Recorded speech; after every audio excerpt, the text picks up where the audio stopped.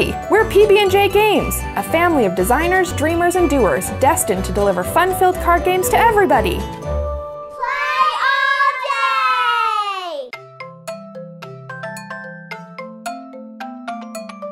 Shuffle the deck and hand out three cards to each player.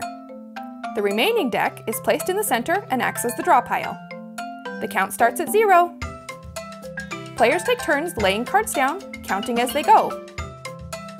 Be careful, you might have to reverse your rocket, float into space, or survive an asteroid strike. If you have to go over 51, you must forfeit a star. The last player with the remaining star wins. Games!